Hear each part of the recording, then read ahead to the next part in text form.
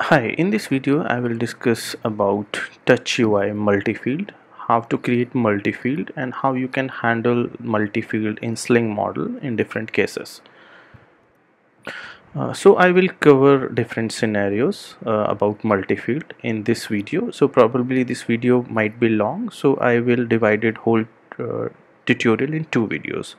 So what I'm going to cover here how to create a multi-field with a single item. When you have a single item means a single text field in multi-field uh, what is the purpose of property called composite? This is pretty important. I will discuss this property in detail with example.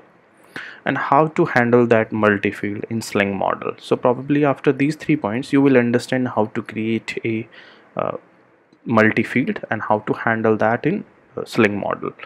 So then uh, how to create multi-field with multiple items? So you, when you have more than one field in multi-field like you have three text fields in multi-field or more than one and different kind of items or the fields in multi-field. How to handle that in a sling model? Using map. And how to handle that multi-field with more than one field? Using java class probably with bean. And i will discussing like in which case you should use map or which case you should use bean. And then finally I will discuss how to create a nested multi-field when you have a multi-field within a multi-field. And probably how to handle that nested multi-field scenario in sling model. So here the multi-field you need to understand concept. If you understood concept you can handle any kind of multi-field right? So in this this video and next video I will be covering these four scenarios Okay, to understand multi-field, you need to understand how the multi-field will be created inside a dialog in TouchUI and what will be the node structure created once you drag and drop that component and after editing that multi-field on a particular page means uh, repository. So for this tutorial, I will be creating a component author hyphen books and throughout this tutorial I will be using this component. So let's let's I create a component with multi-field called name book. So how will you create multi-field? So you need to understand that there will be more than uh, these fields uh, there will be a uh, more than uh, fields under this hierarchy. So I'm discussing only about the multi-field right? So let's so suppose I want to create a multi-field. So what I'll do? I create a node and I give a resource type as a multi-field. So it will create a multi-field. But how will you define the fields for that? Suppose uh, consider here I'm, I'm giving the example of when you have a single field right? So create a uh, node called field under that book and give a uh, resource type as a text field. Suppose you want to create a text field here. You want to create date field uh, checkbox. Accordingly you can give a resource type. And you have to give a name property uh, for that multi-field here inside fields. So as I mentioned there is a composite property. So what is the significance of this property and where will I be using that property? So you have to add this property at your multi-field node. So this my book node was a multi-field so I added that composite property. By default this property value is false. Even if you don't add that the system will take false as a value. But suppose add this property and so there's two case false and true. So what will happen when you add false and what will be happen if you add true so suppose I created a dialog uh, and component with this multi-field and I use that component on a page. As soon as I drag and drop that component on a page, it will create a node same as my component name, right? So take example, you I added as a false and in that uh, uh component I authored that component with a two value ball book name right? Book I added two values. So what will happen? So I've authored with two value so it will create a string property string array type property under this node only right? And it will save those both values in a array means comma separated in case of false but suppose you added true. So what will be the difference? So same I add a composite as a true and I drag and drop the component on page. So in that case now and I uh, edit that multi-field with two iterations means I added two values to that uh, dialog uh, the text field. So it will create a node under my component node with uh, for that multi-field. But this name what will be the name of this node? You need to understand this. So whatever the name property you gave in your field it will create a node with the same name here. Understood? And you iterate it twice. You add it twice. So what it will do? It will create two nodes now under this multi-field node each item have a value of single iterations means you added two iterations dot multi-field so each iteration of value will be saved in one node. So now it will save the first value inside this node. Now the property will be of string type instead of string array right? And second property will be stored in second item. So you see a clear difference here in the first case in false I will not create any additional node. It will save the property as a string array inside the same component node. But in case of true it will create a first it will create a node same as the name property and uh, it will create a, a, nodes under that. So suppose you added three iterations. You added AEM, SFCC and something else. So it will create three nodes here. So you need to understand this structure. And if you understood this structure you can handle that pretty easily in sling model. So probably now you should have a question. Where should you use false and where should you use true? So take a thumb rule if you have a single field in your multi-field you can use false. And if you have more than one field or even with a single field you can have true. You can have true in any case. So with true you can write a generic method. So hope you understood this concept now. Now let's jump to demo. So for the, this demo also I will be creating this component as I told you and you know how we handle the good practice. We will add a uh, interface then the implementation class. Okay so let's jump into demo. Okay so I created a component with uh, multi-field. So as you see here so first I created a single field with the author name and then multi-field. Let me zoom it. Here items books. Books is my let me show you is a multi-field resource type. And field is unstructured. Name uh, my books I gave a name and then text field. So let's let's write uh, Java for this. Uh, so I created a interface for this with two methods. Get author name. It will give me author name and the books. It will return the book name in form of list. The implementation class same way as I have already explained you how to write sling model in previous three video. If you're not aware please go back and see those videos.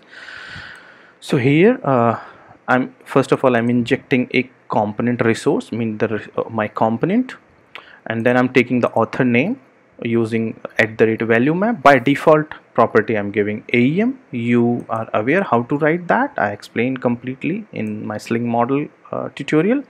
And I take that whole uh, array in form of list string type of list. In this method I'm returning author name. In this what am I doing?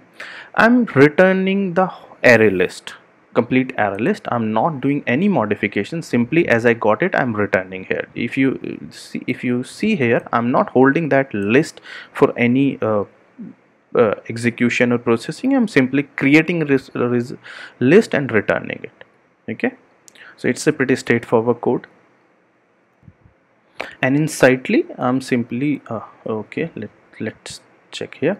I'm simply creating a object and from that first I'm taking the author name and then I'm iterating this uh, list one by one this I'm iterating one by one. If you want to get the whole list in a one go suppose you have a requirement you want that whole list in a comma separated value so you can simply use join statement here.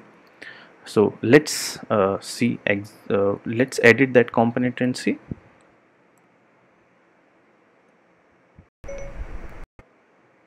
so I drag and drop that component. By default the AEM value is coming AEM because I give as default value. Let's author that component. Mm, book name is let's author name is Arun. And let's add a book. Let's AEM book. Let's say SFCC and let's add one more. Let's net right? Okay let's save it. See the values are visible. The first thing is coming. Let let me give to the preview mode so that you can better understand. It's it's iterating book number one two three. First name is aem alternate and the second statement it is showing the whole all three books in a one go. It's pretty straightforward.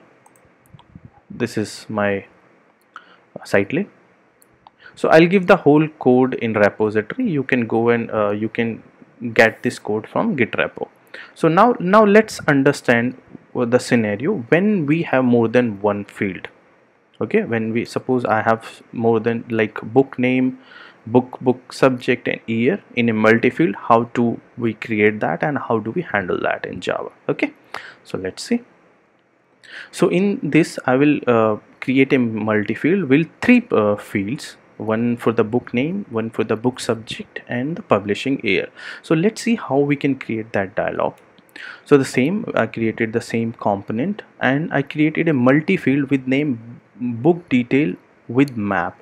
I want to create this as a multi-field. So as I explained earlier I give the resource type as a multi-field and again the field uh, created a field. But in previous video uh, I had only one field so I gave here resource type as a text field.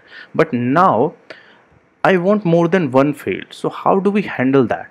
So rather than giving here as the field uh, mean type like text field or uh, some other field name so I need some some some container to hold those uh, fields. So rather than giving that add here is a container because that container will be keeping my all three means three no three fields.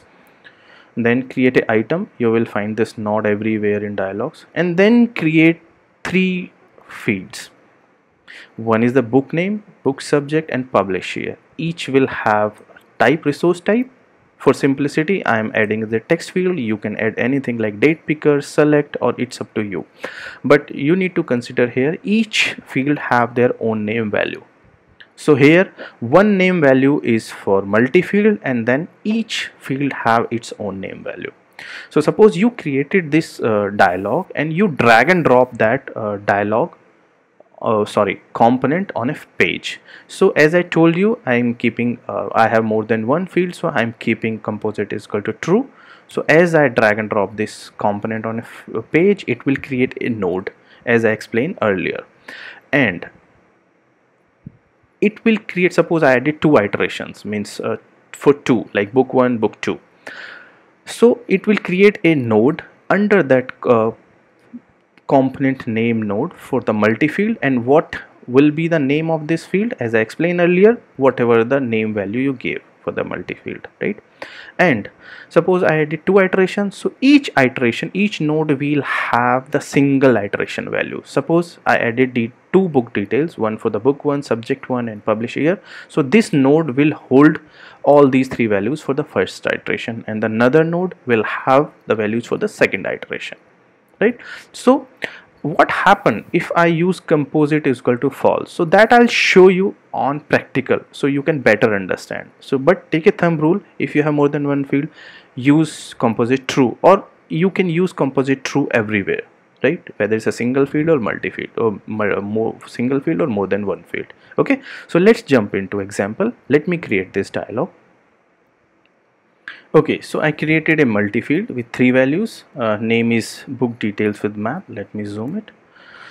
And the field uh, this will be a multi-field. Let me show you.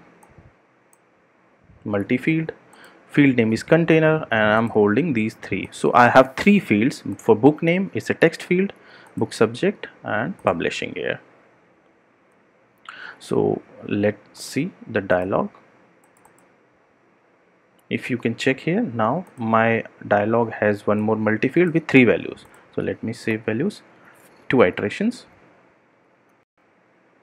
Uh, so I did two iteration for two books book one and book two. Let me save it. So I did not write any backend implementation for this. So that's why nothing is happening. So let, let me write the Java in the Sightly to handle this dialog. Okay so I created another function um, which return a list containing map of string a string type. And what this function is doing basically uh, this is getting a resource. As I already explained uh, this this this inject resource component will uh, inject the current resource. From that current resource I'm getting this uh, child. So what is this? This is the uh, node I will be created on page under that component. This is a multi-field node basically. This is book details with map. So let's let's check the repository so you can better understand this. So when I drag and drop let me zoom it. So it will create this node. And when you added that so so this node will be getting created. So basically what I'm saying okay from this resource give me this child and as I told you it will create this and because I added two iterations it will create two nodes right? Both each node will having the property book name subject and publish here so what i'm saying get this node okay? Then I got this node now I got this node multi-field node. Now uh, what I'm doing I'm iterating each node now one by one how many nodes are there I'm iterating like okay?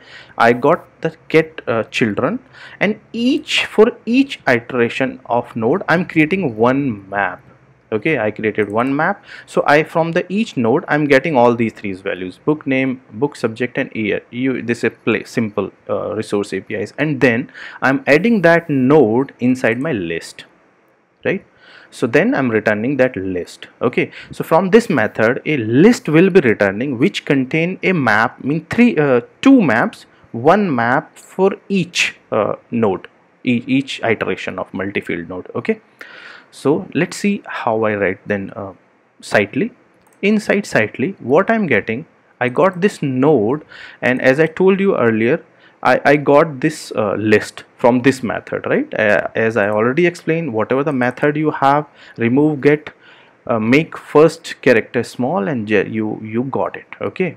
So once you got that I get the item and then I'm iterating each item. From that each item I'm getting book name book subject and publisher. So hope you understand this logic. Let me zoom it right? I got uh, from that I got list in item and then I'm iterating this list. So let's let's go to the page and check. Okay let me refresh this. So see they're using map. The earlier this one is for previous one. Now i'm adding two two items book one. Book one has a book one subject one and these values. Right? So in that way you can use uh, you can use map. So now is as i earlier explained so there's one more way i explain like uh, you can use java bean. So when you should use java bean rather than I mean what was the problem coming with this map? Why why we need a separate java bean class to handle that? Okay so that scenario and nested uh, nested multi-field scenario i will cover in a next video. So let's see. If you have any question please do comment